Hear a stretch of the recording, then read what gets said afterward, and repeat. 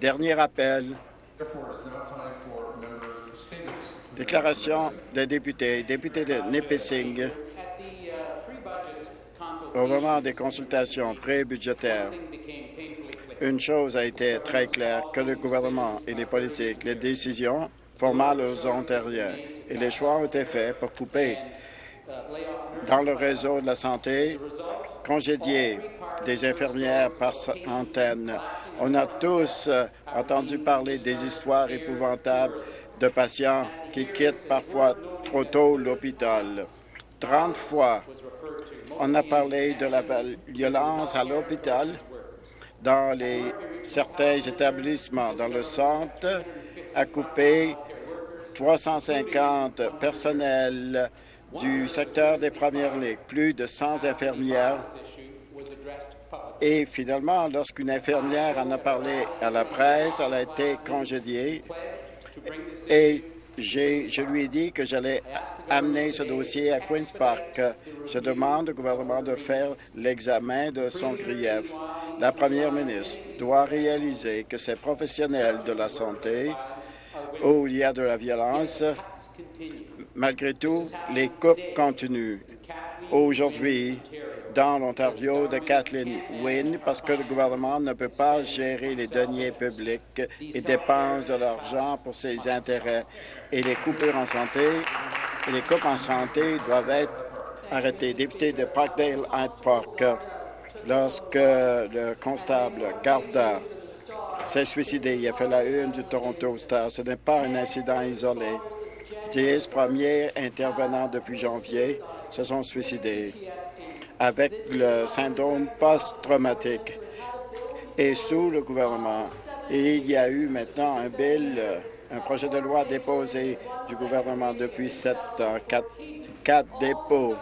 Ce gouvernement c'est-à-dire aller en comité avec ce projet de loi, il aurait pu le modifier. Franchement, si ce gouvernement ne voit pas que ce syndrome post-traumatique est, est une maladie professionnelle, comment est-ce que ces gens puissent prendre, être pris au sérieux par les employés, le public et les employeurs?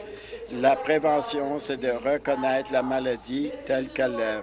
C'est un trouble qui prend la vie de dizaines auprès de près d'une centaine au cours des trois dernières années. Cela affecte des milliers. On peut le prévenir. Parfois, on ne peut pas rien faire. On le connaît chez les militaires. Maintenant, on le connaît pour ceux qui doivent travailler dans des situations traumatiques. Monsieur le Président, je demande J'implore le gouvernement, je prie le gouvernement, au nom des dizaines de milliers de premiers intervenants, que le gouvernement intervienne et de faire en sorte que le syndrome post-traumatique soit reconnu comme maladie professionnelle. Il l'a promis en novembre, il l'a promis en janvier, qu'il le fasse maintenant. Député de Streetsville, Mississauga, le jour de la famille, la communauté euh, musulmane a fait son 5 euh, marathon, marchathon cette année. Les recettes et les dons seront envoyés au Cercle islamique d'Amérique du Nord pour aider l'établissement des. Les gens vont contribuer à la collectivité de Mississauga. Je les ai présentés à la Fondation de l'hôpital. La collectivité musulmane a décidé de recueillir un quart de million de dollars pendant cinq ans. Ils ont dépassé les attentes. Pas, pas seulement, ce n'est pas inhabituel à Mississauga.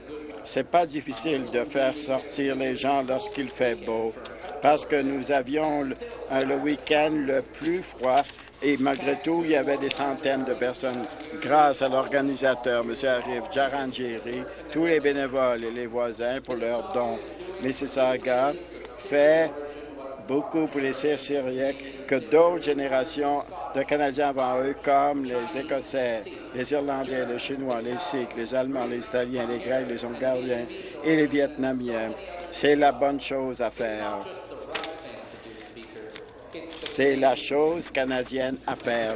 Merci, Monsieur le Président. Député de Bruce Gray Owen Sound. Aujourd'hui, je vois reconnaître le mois de février comme le mois des Noirs pour apprécier pour les réalisations des Noirs en Ontario. Comme vous le savez, dans ma circonscription, nous célébrons l'histoire des Noirs, qui nous célébrons le 1er août à Owen Sound depuis 1652. C'est l'événement le plus couru de ce continent. Ils se sont ils ont quitté l'esclavage aux États-Unis et plusieurs se sont établis ici et ont élevé leur famille. Et, et le coordonnateur de ce festival travaille maintenant avec, pour le festival 2016 pour célébrer l'abolition de l'esclavagisme dans la mesure du possible. Hier, j'ai eu le plaisir de rencontrer M. Ten pour proclamer le mois de février comme le mois de l'histoire des Noirs. Nous avons fait beaucoup d'efforts pour proclamer ce mois des Noirs en Ontario. Il a été élu à la Chambre des communes en 1978. Il a été le premier député à Ottawa et ensuite euh, lieutenant-gouverneur. Et mes collègues également ont fait une célébration à Queen's Park pour reconnaître le mois de l'histoire des morts. Je demande à toutes les familles, à tous les députés de venir à Windsor pour célébrer le dixième anniversaire de la célébration de l'histoire des Noirs dans ma circonscription. Certains de cette organisation vont organiser une célébration également. Déclaration des députés. Députés de, les députés ont fait la priorité de leur gouvernement dans les transports et les gens du Nord sont très préoccupés parce qu'ils doivent se déplacer sur des ponts et, autres routes qui, alors qu'il n'y a pas de beaucoup de possibilités dans le Nord et sans aucun transport en commun.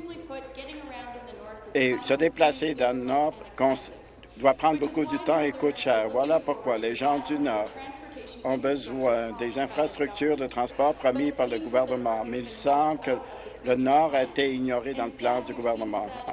On a vu double mesure, deux poids, deux mesures et des, des inactions et dans la gestion des infrastructures dans le Nord. La réalité que ce gouvernement a promis de financer des programmes comme les liens d'intersection, mais le gouvernement n'a pas tenu ses promesses. C'est financé par le gouvernement et c'est exempté de taxes. Mais dans le cas des gens du Nord, et ils veulent que ce soit euh, autosuffisant, ces services de transport. Le déplacement en hiver parce, est, très difficile à cause du mal entretien des routes et les députés et le vérificateur général l'a dit dans son rapport. Monsieur le Président, ce gouvernement, dans le dernier budget, le gouvernement a retardé les investissements dans les infrastructures dans le Nord. Allons voir un nouvel engagement du, euh, du, gouvernement. Député de... Je, je prends la parole pour reconnaître dans la circonscription de Trinity Spadama et les chercheurs à l'université. Ils font partie du programme Les recherches comptent il s'agit de trouver une façon pour augmenter, pour augmenter la qualité de vie des Ontariens. Derrière porte close et trouve des idées pour améliorer les politiques plurielles, les, politiques du gouvernement pour une population plus en santé et plus prospère. Et je suis privilégié d'avoir des étudiants dans ma circonscription qui travaillent à l'Université de Toronto, à Ryerson, et qui ont, fait qui ont eu un impact important sur la vie des Ontariens. Je voudrais reconnaître l'ancien président du Conseil des universités, Mme Bonnie Patterson. Merci à Bonnie pour votre dévouement envers le système réseau scolaire postsecondaire grâce à son équipe de recherche qui sont ici aujourd'hui. Je demande à tous les députés de venir à la chambre 228, pardon, la salle 228 pour une célébration. Député de Huron-Bruce, merci, Monsieur le Président. Ce samedi, le 20, février, il y a eu un programme culturel qui va recevoir un encamp à Guelph dont feront partie 16 classes. C'était un programme qui s'adresse aux femmes et aux femmes pour élargir l'horizon, élargir le réseau pour aider les collectivités rurales de l'Ontario. Et ce programme veut augmenter la participation des jeunes dans le secteur agricole et sur les enjeux de ce secteur, le marketing, l'impact environnemental, l'impact environnemental de la globalisation et l'influence des changements climatiques. Il nous a vu un grand nombre d'organismes du secteur agroalimentaire et communautaire dans le ciel pour les céréaliers de l'Ontario. Je voudrais reconnaître deux participants pour leur travail de ma circonscription, Emily Morrison. Les recettes de l'événement, comme l'encan de rêve, va aider les participations pour évaluer et contribuer aux droits de scolarité en Amérique du Nord et à l'échelle internationale. En tant qu'ancienne participante dans la classe 6, j'encourage les gens de, profiter de ces possibilités inégalées. Député de Kingston, Indiana, la moitié des Canadiens disent qu'ils ont une famille qui ont besoin de sang ou de produits sanguins, mais moins de 4 des Canadiens admissibles donnent du sang. Ces produits sont essentiels aux soins médicaux, y compris les chirurgies, les procédures chirurgicales, les traitements du cancer et autres. Un don peut aider à sauver trois vies. Il n'y a aucun substitut pour le, le sang et on a besoin de plus de donneurs ce jour de Saint-Valentin avec l'appui à la collectivité, mon personnel et services EMO Canada.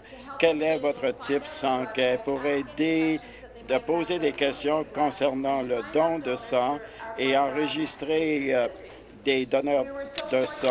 On est très heureux d'avoir des anciens donneurs qui ont venu participer, parler de leur expérience, qui ont fait la différence dans plusieurs personnes. Je voudrais reconnaître Mme Bell qui a un type de sang très rare et Joanne Curry qui est venue au, coin, euh, au nom de sa sœur qui a reçu 22 transfusions pour euh, traiter sa maladie, la, leucémie. J'encourage tous et chacun de devenir donneur de sang et d'être sensibilisé à l'importance du don sanguin. On ne sait jamais. Peut-être vous, un être cher, en aura besoin.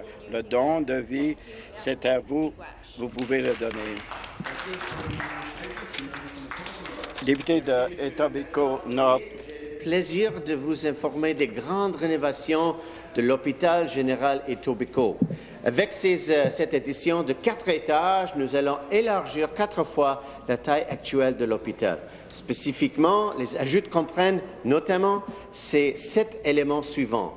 Premièrement, salle d'urgence ultramoderne. Deuxièmement, soins, soins intensifs, soins graves ou critiques, département de maternité pour les nouveau-nés, département de chirurgie ambulatoire, département cardio-respiratoire et département neurodiagnostique. Speaker, I'm uh, pleased to say that this uh, four... suis heureux de dire que cet ajout de quatre étages va quadrupler l'emprunt de l'hôpital à cet hôpital général de Tobico avec tous les services que j'ai mentionnés concernant les services de diagnostic et les gens de ma circonscription si on a besoin d'une évaluation médicale, douleur à la poitrine, douleur cardiaque, on peut faire ces analyses à cet établissement la fine de la technologie.